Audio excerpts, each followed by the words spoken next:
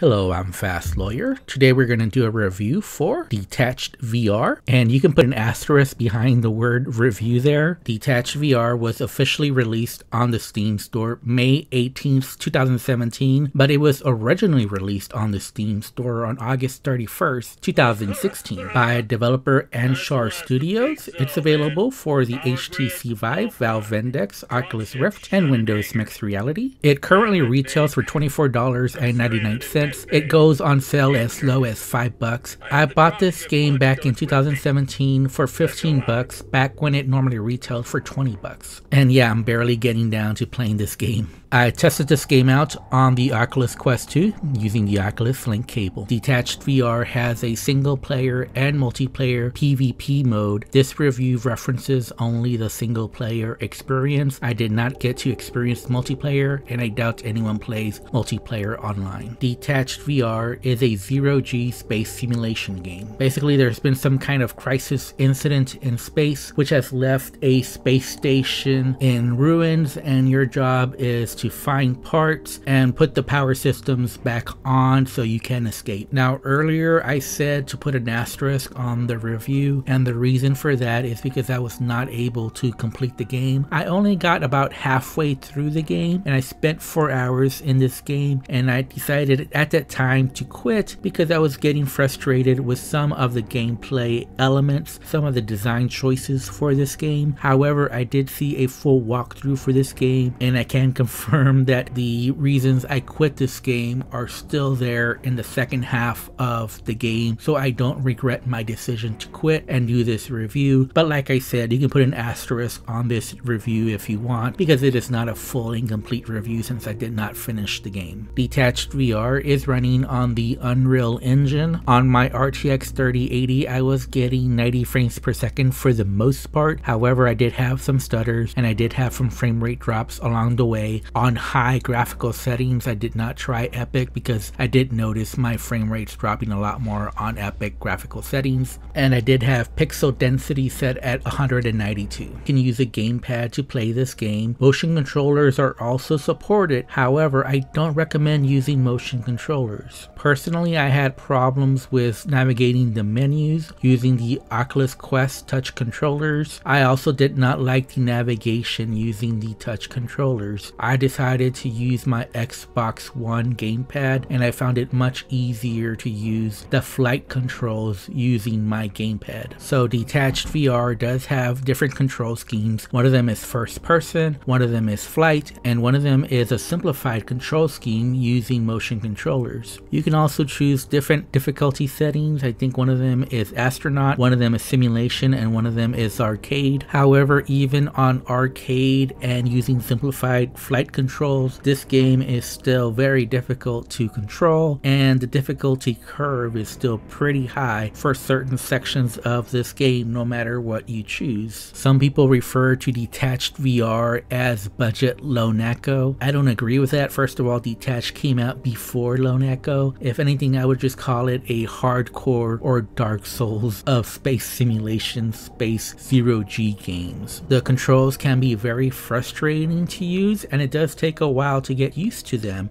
but even after I got used to using the controls, it still felt that I never had the full control that I needed to do certain sections as smoothly as possible. Instead, it felt like I was often fighting the controls and having to do sections that were very technical in order to get to the next part of the game. So like I said, this game does have graphical options to play with. It also has some gameplay settings that'll change the experience, and I will say this about Detached VR for a 2016 VR game. This game looks absolutely stunning. It is still one of the best looking games in VR. That feeling of being in space and looking out and seeing all the space debris and seeing the vastness of space is jaw dropping in this game. This game looks absolutely beautiful, but like I said, I did experience some stutters and some frame rate drops, but nothing that really took away from the experience experience. Now, unfortunately, my gameplay recording video does not reflect the gameplay experience, and you will see lots of stutters in the gameplay recording video, but that was not in the game. However, I did experience some bugs. There's two major bugs I want to talk about. One of them is having difficulties navigating the menu UI. Using the touch controllers, it seemed like I just couldn't choose certain selections on the menus. I don't know why, but I was able to get around that by using a gamepad. The second issue I had was when I started a new game, Detached VR wanted me to redo the tutorial over and over again in a loop. I finally figured out that you have to click on new game and also click on skip tutorial in order to get past the tutorial section of this game. Now Detached VR does have a story, but I have to confess I didn't really enjoy the story that much. It's not like Lone Echo that's really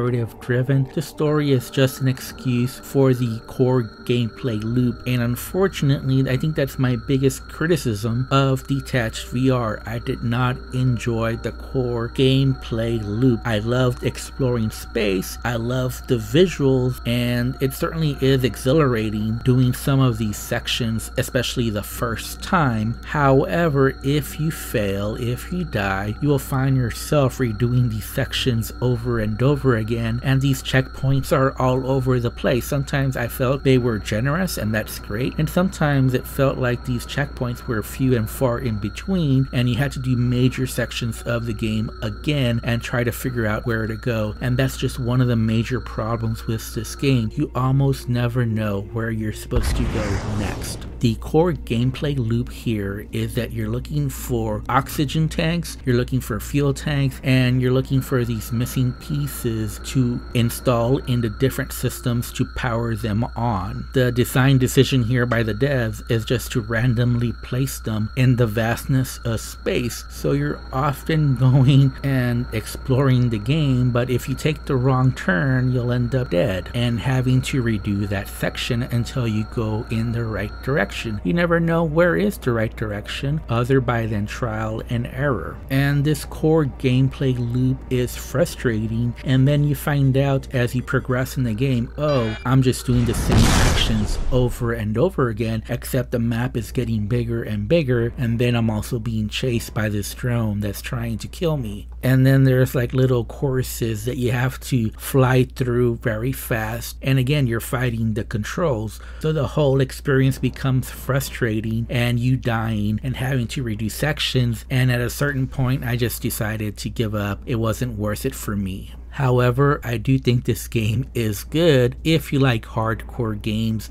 It's very beautiful. There's jaw-dropping moments in this game and it is very challenging. It does a good job of showing how unforgiving space can be. It also has a beautiful musical soundtrack. Obviously, this is a difficult game for me to give a score to, especially because I quit because I was too frustrated to play this game and I only got halfway through the game. But if I have to give it a score, I would give it a 6 out of 10. I would say this is a buy on sale recommendation. This game definitely has several epic moments and it definitely is very challenging and hardcore. So be prepared for that. You may not enjoy this game if you don't like the core gameplay loop of having to look for these little objects in the vastness of space. Anyways, I'm Fast Lawyer. If you liked my review, don't forget to like, comment, and subscribe. And as always, have a wonderful day.